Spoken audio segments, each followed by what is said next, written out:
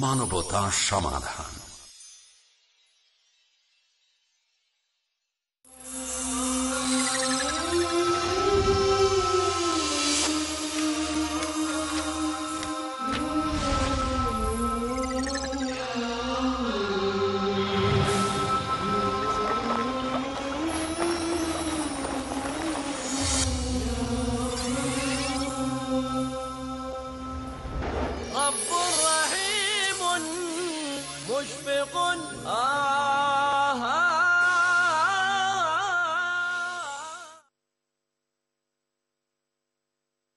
আসসালামু আলাইকুম ওরহমতুল্লাহ ওবরাকাত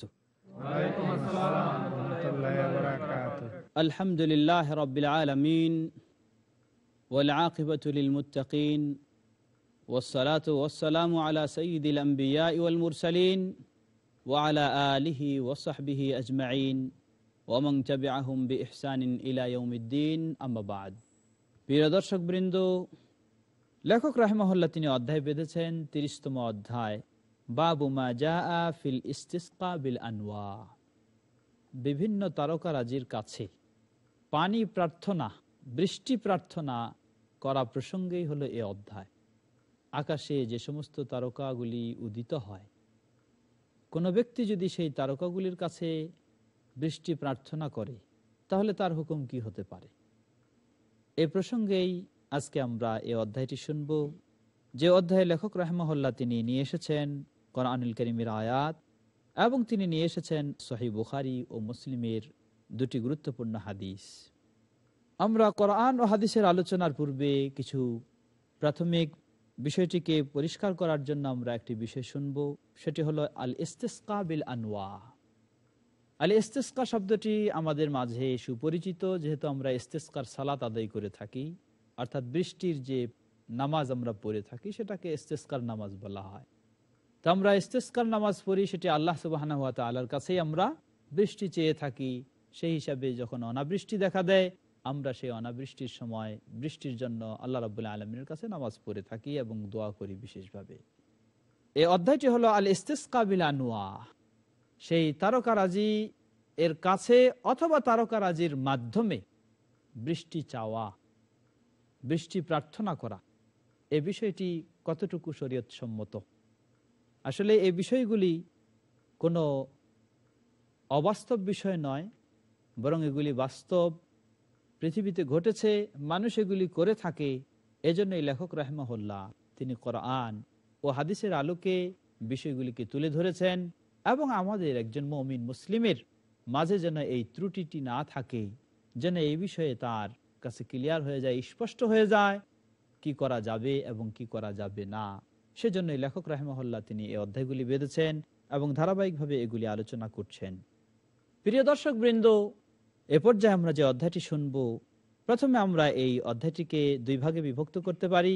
একটি হলো শেরকি পর্যায়ে, অর্থাৎ যারা তারকাকে কেন্দ্র করে বা তারকার কাছেই বৃষ্টি চায় অথবা তারকার মাধ্যমে বৃষ্টি চায়, সকল শ্রেণি তারা শেরকে লিপ্ত হয়ে। এক শ্রেণি বড় শেরকে লিপ্ত হয় আরেক শ্রেণি ছোট শেরকে লিপ্ত হয়। যারা বড় শেরকে লিপ্ত হয়, শেরকে আকবার, যার কারণে ইমান বাতিল হয়ে যায়, ইসলাম থেকে বের হয়ে যায়, সেই বড় শেরকে লিপ্ত হয়, তাদের দুটি দিক রয়েছে। প্রথম দিক হলো, সেই ব্যক্তিরা কি করবেন তারা? তারকা রাজির কাছে, এই তারকাগুলির কাছে তারা আবেদন করবে যে, হে অমুক তারকা, আপনি আমাকে বৃষ্টি দেন বা আমাদেরকে বৃষ্টি দেন। বা, হে অমুক তারকা, যেগুলি বিভিন্ন নাম রয়েছে, সুরাইয়া নক্ষত্র, অমুক নক্ষত্র, ইত্যাদি ইত্যাদি। সেগুলি নাম ধরে ডাকবে যে, হে অমুক নক্ষত্র, আমাদের দেশে অনাবৃষ্টিতে আমরা চলছি, আমাদেরকে বৃষ্টি দেন। এভাবে তারকাগুলির কাছে বৃষ্টি চাওয়া। যদি কেউ এভাবে সরাসরি তারকাগুলির কাছে বৃষ্টি চেয়ে থাকে, তাহলে সে ব্যক্তি অবশ্যই শিশিরকে লিপ্ত হয়েছে, কারণ মানুষ তার বিপদ আপদে ডাকবে একমাত্র আল্লাহ সুবহান আলাকে বা বিশেষ করে যেই বিষয়গুলি আল্লাহ রাবুল্লাহ আলমিন ছাড়া কারও ক্ষমতা নেই, সেগুলির ক্ষেত্রে আল্লাহ সুবাহ তালা ছাড়া অন্য কারও কাছে চাওয়া যাবে না। মানুষের যে আবেদন নিবেদন, এই আবেদন নিবেদন দুই ধরনের হতে পারে। একটা হলো, কতগুলি আবেদন নিবেদন মাখলুকের কাছে করা জায়েজ রয়েছে? আর কতগুলি আবেদন নিবেদন প্রার্থনা মাখলুকের কাছে করা জায়েজ নেই, করলে সেটি শেরক হবে। মাখলুকের কাছে করার আবেদন কোনটা জায়েজ রয়েছে? জায়েজ উদাহরণস্বরূপ ধরে নেন, আপনার একটা বড় ধরনের ফ্যাক্টরি বা কারখানা রয়েছে। সেখানে আপনি অনেকগুলি কর্মকর্তা বা কর্মচারী আপনি নিয়োগ দেবেন। এখানে আপনার কাছে গিয়ে আমি আবেদন করলাম যে আপনি আপনার এই ফ্যাক্টরিতে বা কারখানায় আমাকে একটা চাকরি দেন। এটা জায়েজ রয়েছে। কারণ আল্লাহ রাবুল্লাহ আলমিন আপনাকে এই ক্ষমতাটা দিয়েছেন। আপনি, আপনার এখানে কিছু মানুষের চাকরির ব্যবস্থা হবে, এই ক্ষমতাটা আল্লাহ রাবুল্লাহ আলমিন আপনাকে দিয়েছেন। এই জন্য এই পর্যায়ে আপনার কাছে এটা চাওয়া জায়েজ রয়েছে। এটি শেরক নয়। তবে এটার জন্যও মানুষের কাছে একেবারে নত হয়ে যাওয়া ঠিক হবে না, বরং আল্লাহ রাবুল্লাহ আলমিনের কাছেই, এটাও চাইতে হবে আল্লাহ রাবুল্লাহ আলমিনের কাছে, এরপর হয়তো আমরা পন্থা হিসেবে কিছুটা অবস্থান অবলম্বন করতে পারি। তবে এটা শেরক নয়। দ্বিতীয় হলো, যে সমস্ত বিষয়গুলি শুধু আল্লাহ সুবাহ তাল্লার হাতেই রয়েছে, অন্য কারও হাতে নয়। সে বিষয়গুলি যদি আমরা অন্যের কাছে, যাদের হাতে নয়, তাদের কাছে চাইতে যাই, সেটা হলো শেরকে আকবার। সেটাই হলো বড় শের উদাহরণস্বরূপ উদাহরণস্বরূপ হলো এটা। পৃথিবীতে বৃষ্টি বর্ষণের মালিক হলেন একমাত্র আল্লাহ সুবহান হুয়া তালা তিনি ছাড়া কেউ বৃষ্টি বর্ষণের মালিক না। এখন এই বৃষ্টি যদি আল্লাহ সুবাহ তালাকে ছাড়া বাদ দিয়ে পৃথিবীর কোনো রাজা বাদশার কাছে চাইতে যাই, তাহলেও যেমন শেরক হবে, ঠিক তেমনই ভাবে চন্দ্র, সূর্য, নক্ষত্র এগুলির কাছেও যদি চাইতে যাই, তাহলেও সেটা শেরক হবে। কারণ এই বৃষ্টি দেওয়ার ক্ষমতা আল্লাহ রাবুল্লাহ আলমিনের হাতেই সীমাবদ্ধ, এটা অন্য কারও হাতে নয়। প্রিয় বন্ধুরা, ঠিক তাই এই চন্দ্র বা নক্ষত্রকে কেন্দ্র করে কেউ যদি বৃষ্টি চায়, সেটা কয়েক দিক হতে পারে, আমরা বলেছি প্রথম হলো শেরকে আকবার বড় শের। বড় শেরকের আবার দুটি দিক রয়েছে। একটি দিক হলো কেউ যদি সরাসরি নক্ষত্রগুলির নাম ধরে বলে যে, হে অমুক নক্ষত্র, আমরা অনাবৃষ্টিতে ভুগছি, আমাদেরকে বৃষ্টি দেন। তাহলে এটি হবে শেরকে আকবার। কারণ সেটি আল্লাহ রাবুল্লাহ আলমিনকে বাদ দিয়ে সে মাখলুকের কাছে আবেদন নিবেদন সম্পাদন করেছে, যেই বিষয়ে একমাত্র আল্লাহ ছাড়া কোনো মাখলুক ক্ষমতা রাখে না। আল্লাহ রাবুল্লাহ আলমিন বলেন আল্লাহ ইলাহান আখার লা বুরহান লাহু বিহ ফাইন্নামা হিসাবুহু ইনদা রাব্বিহি ইন্নাহু লা ইফলিহুল কাফিরুন আল্লাহ রাব্বুল আলামিন বলছেন ওমাইয়াদউ মা আল্লাহ ইলাহান আখার যে ব্যক্তি আল্লাহকে বাদ দিয়ে আরেকজনকে মাবুদ হিসাবে ডাকবে, তার কাছে আবেদন নিবেদন পেশ করবে। লা বুরহান লাহু বিহ, অথচ এই বিষয়ে তার কাছে কোনো দলিল প্রমাণ নেই। এটাই হলো শির। অনুরূপভাবে প্রিয় বন্ধুরা, দ্বিতীয় বিষয় যেটি তা হলো আইয়ানসিবা রসুল আল আল আন্নাহা হিয়া আল্লাহ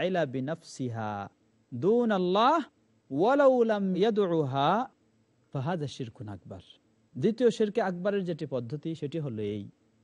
পৃথিবীতে যখন বৃষ্টিগুলি হয়, তখন সে মনে করে থাকে যে এই আসলেই এটা নক্ষত্রের কাছে বৃষ্টি চাইবে না সে কিন্তু মনে করবে, বিশ্বাস করবে যে এই নক্ষত্রগুলি হলো বৃষ্টি দেওয়ার মালিক। নক্ষত্রগুলি বৃষ্টি বর্ষণ করে থাকে, এই কাজটা করার অধিকার নক্ষত্রদেরই রয়েছে, নক্ষত্রগুলিরই রয়েছে। এই যদি আকিদা পোষণ কেউ করে থাকে, এটাও হলো শেরকে আকবার। শেরকে আসগার কখন হবে ছোট শের ছোট শেরক হবে তখন, যখন বিশ্বাস করে যে না, বৃষ্টির মালিক হলেন একমাত্র আল্লাহ রাবুল্লাহ আলমিন। কিন্তু আল্লাহ রাবুল্লাহ আলমিন এগুলির মাধ্যম ছাড়া বৃষ্টি দিবেন না, তাই এগুলির কাছেও আমাদেরকে চাইতে হবে। তখন এটি হবে শেরকে আসকার। আমরা এই সংক্ষিপ্ত একটু বিষয় জানলাম, এরপর এখন আসি আমরা। লেখক রাহিমহল্লা এ অধ্যায়ে যে সমস্ত তিনি কোরআনুল করিমের আয়াত এবং হাদিস নিয়ে এসেছেন, সেগুলি একটু আমরা জানার চেষ্টা করি। প্রথমে লেখক রাহমহল্লা সুরা আল ওয়াকে আ এর বিরাশি নম্বর আয়াত তিনি নিয়ে এসেছেন। আল্লাহ রাবুল আলমিন বলছেন রিজকাকুম আন্নাকুম তুকাদিবুন আল্লাহ রাবুল্লাহ আলমিন তিনি আমাদের রেস্ক দিচ্ছেন। রেস্ক বলতে এটি শুধু খাওয়া আর ভরণ পোষণ নয়। মানুষের জীবনে যত কিছু পাই, সব কিছুই হলো আল্লাহর রিস্ক আমি সুস্থ, এটাও আল্লাহর রিস্ক আমাকে জ্ঞান বুদ্ধি আল্লাহ দিয়েছেন, এটাও আল্লাহর রিস্ক আমাকে সন্তান দিয়েছেন, এটাও আল্লাহর রিস্ক আমার ধন সম্পদ আছে, এটাও আল্লাহর রিস্ক আমি খাই, এটাও রিস্ক যত রকমের মানুষ পায়, সব কিছুই আল্লাহর পক্ষ থেকে রিস্ক তা আল্লাহ বলছেন ওটা ওয়াতাজ আলুন রিস্কাকুম আন্নাকুম তুকাদিবুন আমরা যখন সব কিছু দিচ্ছেন আল্লাহ রাবুল্লাহ আলমিন কিন্তু এরপরেও যখন আমরা এগুলিকে অন্যের সাথে সম্পৃক্ত করতে চাই, যে অমুকেই দিচ্ছে, তমুকেই দিচ্ছে, তখন যেন আমরা আল্লাহ রাবুল্লাহ আলমিনকে অস্বীকার করে বসছি। মানে আল্লাহ রাবুল্লাহ আলমিনের কৃতজ্ঞতা প্রকাশ করছি না। কারণ সব কিছুর মালিক তো আল্লাহ রাবুল্লাহ আলমিন দিচ্ছেন, প্রকৃতপক্ষে তিনিই। হয়তো কোনো কোনো মাধ্যম দিয়ে আল্লাহ রাবুল্লাহ আলমিন দিচ্ছেন। কিন্তু সেই মাধ্যমগুলি আমাদের মালিক নয়। কিন্তু যখন আমরা সে আল্লাহকে বাদ দিয়ে সেই মাধ্যমগুলিকেই আসল করে ফেলি, তখন যেন আমরা আল্লাহকেই অস্বীকার করছি। আল্লাহকেই স্মরণ করছি না আমরা ইনশা আল্লাহ এ দর্শ সম্পূর্ণ শুনব তবে এ পর্যায়ে একটু ছোট্ট বিরতি নেব আসসালামু আলাইকুম রহমতুল্লাহ বারাকাত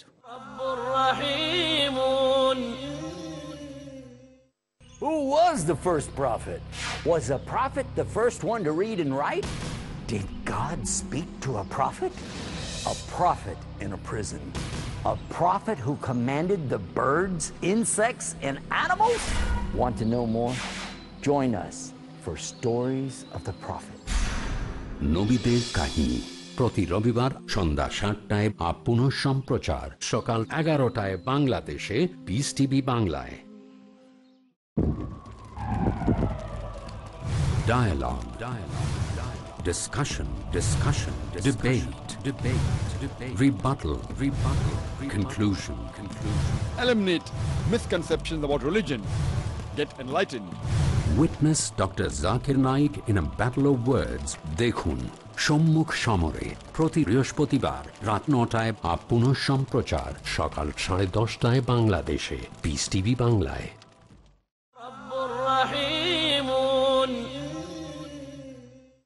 আসসালামু আলাইকুম ওরহমতুল্লাহ ওবরাকাত প্রিয় দর্শক বৃন্দ লেখক রাহমহল্লা এ অধ্যায়ে তিনি আরও কিছু হাদিস নিয়ে এসেছেন, যেমন একটি হাদিস সহি মুসলিমের হাদিস, নয়শত চৌত্রিশ নম্বর হাদিস। হাদিসটি প্রসিদ্ধ সাহাবি আবু মালিক আল আশারি রাজি আল্লাহ তালা আনহতে বর্ণিত। তিনি বলছেন, আল্লাহ রসুল সাল্লাম বলেন আরবাতুন ফি উম্মতি মিন আমরিল জাহিলিয়া লায়াতুরুকু হন্না বলছে, জাহিলি যুগের চারটি স্বভাব। এই চারটি স্বভাব আমার উম্মতের মানুষদের মাঝেও যেন এগুলি বিদ্যমান, তারা এগুলি ছেড়তে চায় না। আল্লাহ রসুল সাল্লাম এর অর্থ এই নয় যে জাহিলি যুগের চারটি স্বভাব আমার উম্মতের মাঝে বিদ্যমান রয়েছে, এগুলি ছেড়তে চায় না মানে এগুলি করার কিছু সুযোগ দিয়ে দিলেন তা নয়। বরং এর দ্বারা সতর্ক করলেন যে এই জাহিলি যুগের স্বভাবগুলি আমার উম্মত হওয়া সত্ত্বেও এরা। এত সুন্দর দিন, জীবন ব্যবস্থা, ইসলাম পাওয়া সত্ত্বেও তারা এই জাহিলি যুগের আচার আচরণগুলিকে তারা এখনও ধরে রাখতে চায়, এখন এগুলি পালন করতে চায়। এক্ষেত্রে মূলত আল্লাহ রসুল্লাম এদিক থেকে সতর্ক করছেন, অতএব এগুলি জাহিলি, এগুলি কখনো করা আমাদের জন্য বৈধ নয়, আমাদের জন্য এগুলি শোভা পায় না। তো চারটি জাহিলি স্বভাব বা জাহিলি চালচলন, জাহিলি স্বভাব বা জাহিলি চালচলন বলতে কাকে বোঝানো হয়? জাহিলি স্বভাব বলতে বোঝানো হবে আল্লাহ রাসুল সাল্লাহ আলী হুসাল্লাম নবুয়ত রেসালত পাওয়ার পূর্বে সেই সমাজের মানুষেরা সেটাকেই জাহিলি যুগ বলা হয়। ওই যুগে যে সমস্ত কার্যক্রম তারা করত সেগুলিকে সাধারণত জাহেলি কাজকর্ম বলা হয়। ইসলাম এর পরিপন্থী যদি কোনো কাজ হয়, কোনো কর্ম হয়ে থাকে, সেটাই হলো জাহেলি কাজকর্ম। ইসলাম এর পরিপন্থী। মানে এখনও আমরা আধুনিক আবিষ্কার করু যে কোনো যাই কিছু বাইর করি না কেন, সে বিষয়গুলি অবশ্য একটা হলো কতগুলি রয়েছে যেগুলি ইসলামের ক্ষতিকারক নয়, কতগুলি রয়েছে ইসলামের ক্ষতিকারক। উদাহরণস্বরূপ ধরে নিন ইন্টারনেট ইন্টারনেট একটা আধুনিক আবিষ্কার। ইন্টারনেট আধুনিক আবিষ্কার, এই যে একটা যন্ত্র বা এই যে একটা মাধ্যম এই মাধ্যমটা ইসলামের ক্ষতিকারক নয়। মাধ্যমটা ইসলামের উপকারও হয়। আমরাও ইন্টারনেট ব্যবহার করছি, ইসলামের বিষয়গুলি ইন্টারনেটের মাধ্যমে বক্তব্য সবকিছু ছাড়ছি। অতএব এটা ইসলামের ক্ষতিকারক নয়, মাধ্যমটা, জিনিসটা ক্ষতিকারক নয়।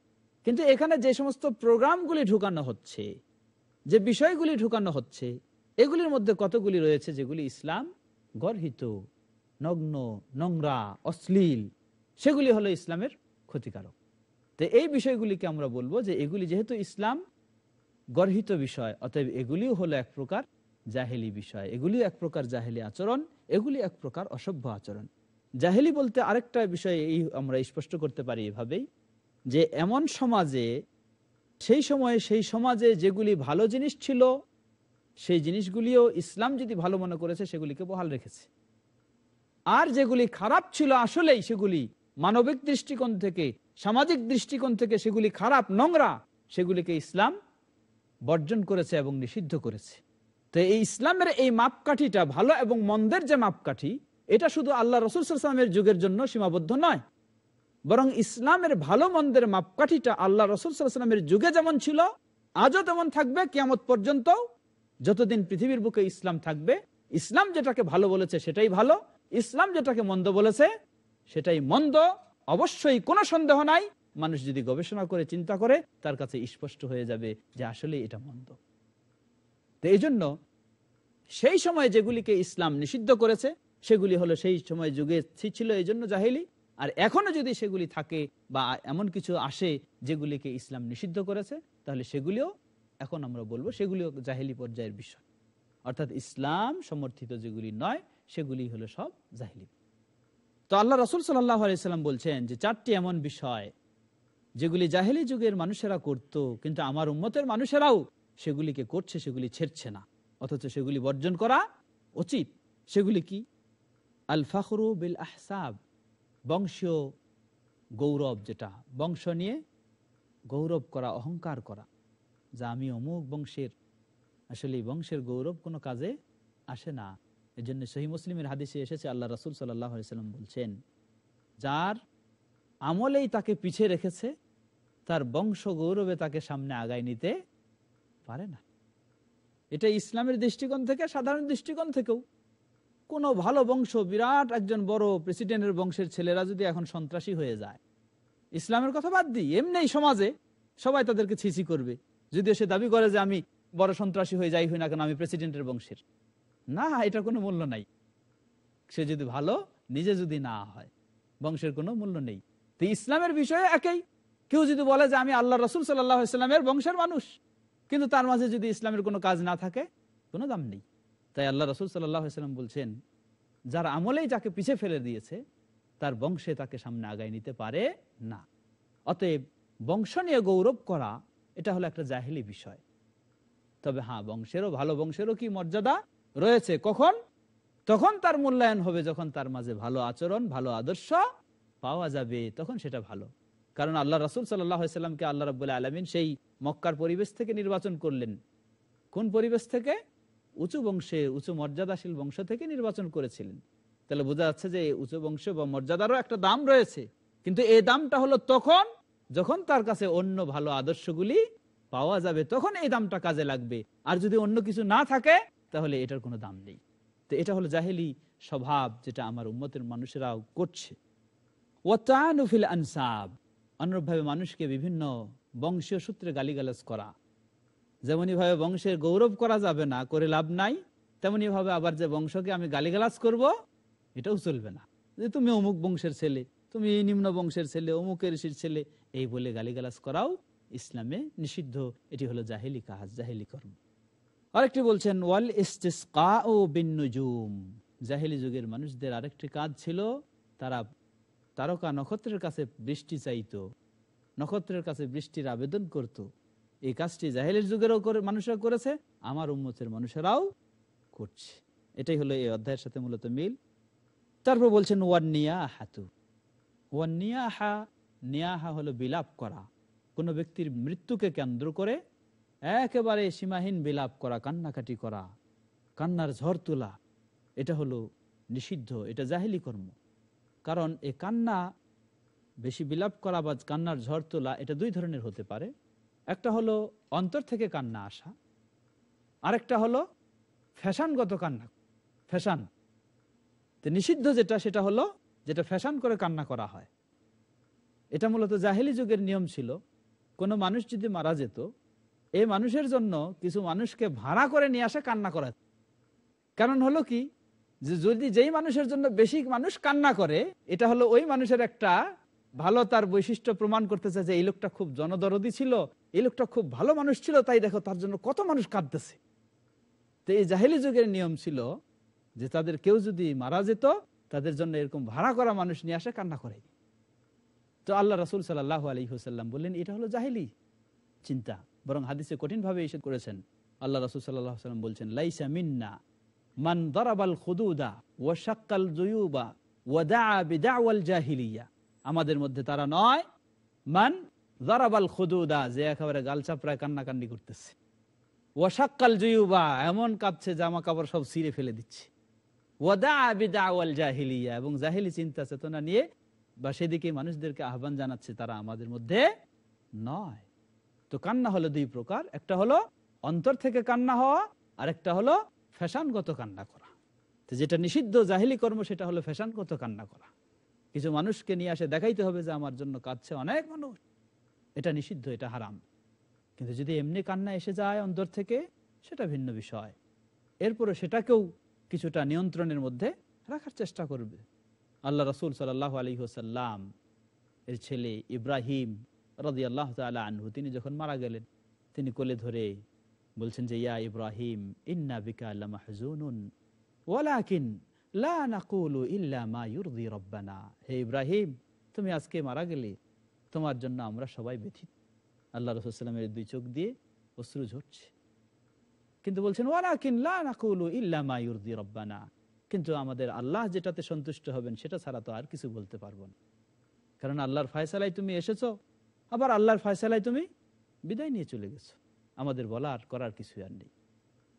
তো কেউ মারা গেলে ব্যথিত হওয়া অস্বাভাবিক নয়, স্বাভাবিক হবে এবং কাঁদবে, অসুবিধা নেই। কিন্তু সেটা যেন সীমালঙ্ঘন না হয়। এই সীমালঙ্ঘন হওয়া সেটাই হলো জাহিলি বিষয়।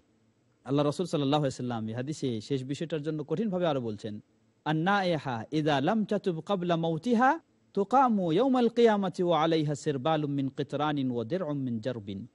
মুসলিম যে সমস্ত মানুষেরা চাই নারী হোক বা পুরুষ হোক, কোনো ব্যক্তির মৃত্যুকে কেন্দ্র করে শোক প্রকাশ করতে গিয়ে এই ধরনের জাহিলি রকমের জাহিলি অভ্যাসের স্বভাবে কান্নাকাটি করবে, তাহলে কেমতের দিন এরা যদি মৃত্যুর পূর্বে তৌবা না করে যদি মারা যায়, তাহলে কেমতের দিন তাদেরকে যখন ওঠানো হবে তাদের গায়ে চিটচিটে আলকাত্রা মাখানো যেন পোশাক পরানো হবে এবং মরিচা ধরা পোশাক তাদেরকে পরায়, জাহান্নামের এই পোশাক পরায় তাদেরকে কঠিন শাস্তি দেওয়া হবে। এরপর আরেকটি গুরুত্বপূর্ণ হাদিস যেটি সহি বুখারি এবং মুসলিমের, সে হাদিসটি প্রসিদ্ধ সাহাবি জাইদ বিন খালেদ রাজি আল্লাহ তালা হতে বর্ণিত। তিনি বলছেন যে, আল্লাহ রাসুল সাল্লাম একদিন আমাদেরকে ফজরের নামাজ পড়ালেন। সেটা কখন ছিল? বিল হোদাইবিয়া। হোদাইবিয়ার সময়। হোদাইবিয়া সেটি হলো ষষ্ঠ হিজড়িতে মক্কা থেকে মদিনা এর মাঝে, মক্কার কাছাকাছি সে একটি জায়গা, সেটির নাম হলো হোদাইবিয়া, যেখানে হোদাইবিয়ার সন্ধি সম্পাদিত হয়েছিল, একটি ঐতিহাসিক সুপ্রসিদ্ধ জায়গা, স্থান বা নাম। সেখানে আল্লাহ রসুলাম আমাদেরকে ফজরের নামাজ পড়ালেন। তো ফজরের নামাজটা কোন সময় ছিল? আলা ইসরি সামা ইনকানাত মিনাল্লাইল ওই রাত্রিতে বৃষ্টি হয়েছে, যেমন জায়গাটা একটু স্যাপস্যাপা, কাদা কাদা ভাব হয়ে গেছে। এই অবস্থায় আল্লাহ রসুল্লাম আমাদেরকে ওখানে ফজরের নামাজ পড়ালেন। তো ফজর নামাজ পড়ালেন। ফালাম্মা ইনসারাফা আকবালা আলান্নাসি ফাকালা, হাল তাদরুনা মাযা ক্বালা রাব্বুকুম? যখন সালাম ফিরালেন, সালাম ফিরাইলে তিনি মুক্তাদির দিকে ঘুরে বসলেন। নিয়ম হলো এটাই, সালাম ফিরা হলে মুক্তাদির দিকে ঘুরে বসার নিয়ম। ঘুরে বসলেন, ঘুরে বসে বললেন, যে তোমরা কি জানো, তোমাদের রব কি বলেছেন? আল্লাহ তালা কি বলেছেন এটা শুনেছো, তোমরা জানো? সাহাবারা জবাব দিলেন, কলু আল্লাহ রাসুল হো আলম। আমরা কেমনে জানব? আল্লাহ এবং তার রাসুল এটা জানেন, আমরা জানি না। আল্লাহ এবং তার রাসুল অধিক জানেন, আল্লাহ কি বললেন? তারপর বললেন, কলা আসবাহা মিনে ইবাদি মুমিনুম বি ওয়া কাফিরুন। আল্লাহ বলেছেন আল্লাহ হুসলাম বলছেন যে, আল্লাহ রাবুল আলমিন বললেন যে, আমার কতক বান্দা, তারা সকাল হয়েছে কীভাবে? আমার প্রতি ইমানদার হয়ে আর তারকার প্রতি তারা কাফের হয়ে সকাল করেছে। মানে আমাকে, আমার প্রতি ইমান রেখে তারা সকাল করেছে আর তারকাকে তারা, তারকার প্রতি বিশ্বাসী হয়ে নয়। তারা কারা? ফাম্মান কালা মুচির নবী ফজলিল্লাহ ও রহমতিহি। যারা বলছে যে আমরা আজকে রাত্রিতে আল্লাহর রহমতে আল্লাহর অনুগ্রহে বৃষ্টি পেয়েছি। তারা হলো আল্লাহর প্রতি ইমানদার আর তারকার প্রতি ইমানদার নয়। ফাজা আলিকা মুমিনুন বি ওয়া কাফিরুন বিল কাউকাব সেই হলো আমার প্রতি ইমানদার আর তারকার প্রতি সেই ইমানদার নয়। মুতিরনা বিনাউই কাযা ওয়া কাযা, ফাযালিকা কাফিরুন বি ওয়া মুমিনুন বিল কাওয়াকিব। আর যে ব্যক্তি বলছে যে আমরা অমুক তারকার মাধ্যমে বা অমুক তারকায় আমাদেরকে বৃষ্টি দিল, অমুক তারকায় আমাদেরকে বৃষ্টি দিল। বিল সে হলো আমার প্রতি কাফের আর তারকার প্রতি সে ইমানদার। কারণ সে তারকাকে বৃষ্টিদাতা হিসাবে স্বীকার করেছে, আমাকে সে বৃষ্টিদাতা হিসাবে স্বীকার করে নাই। আর যে ব্যক্তি বলেছে যে আল্লাহর রহমতে বৃষ্টি পেয়েছি, সে আমাকে বৃষ্টিদাতা হিসাবে স্বীকার করেছে, সে আমার প্রতি ইমানদার। তারকার প্রতি সে, তারকাকে সে বৃষ্টিদাতা হিসাবে মানে নাই। আমরা বিষয়গুলিকে ভালোভাবে উপলব্ধি করে আমরা যেন আল্লাহ সুবাহ তাল্লার প্রতি পূর্ণ ইমান পূর্ণ আস্থা, তার প্রতি আমরা পূর্ণ তৌহিদের উপর অটল থাকতে পারি এবং অন্য যে সমস্ত বিভিন্ন চিন্তা চেতনা পোষণ করে তার সাথে শেরকে লিপ্ত হয়ে যেতে হয় বা হয়ে যায়, সেগুলি থেকে যেন আমরা বিরত থাকতে পারি। আল্লাহ আমাদের সবাইকে সে তৌফিক দান করুন। আজকের দর্শ আমরা এখান থেকে শেষ করতে যাচ্ছি। আপনাদের সবাইকে অসংখ্য ধন্যবাদ জানাচ্ছি। আসসালামু আলাইকুম ওরহমতুল্লাহি ওবরাকাত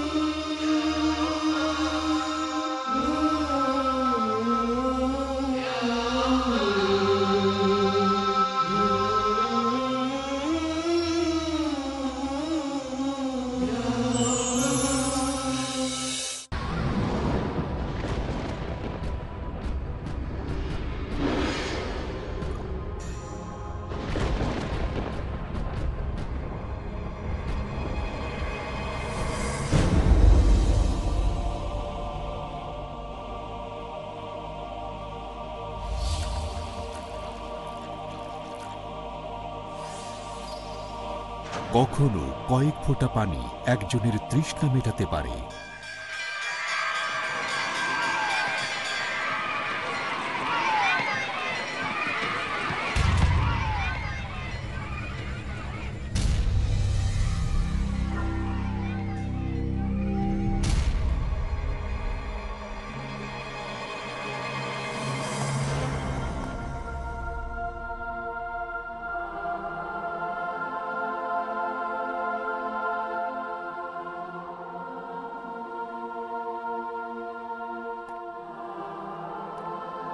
কখনো একটি সাহায্যের হাত মানুষের মুখে হাসি ফোটাতে পারে। আমাকে খেলনাটা একটু দাও না দাও না দাও না। না দেবো না দেবো না দেবো না।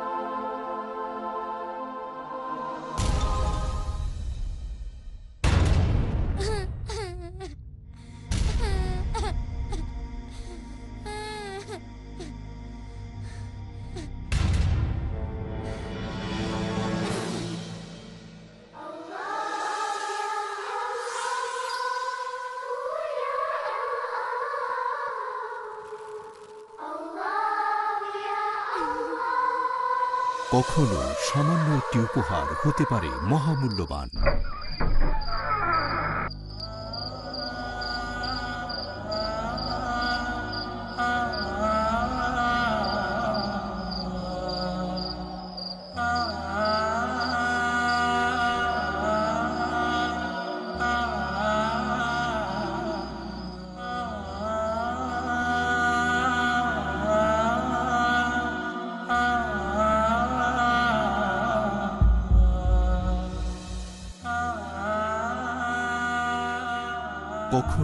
একটি জীবন দর্শন মানুষের মনে জাগাতে পারে আশার আলো।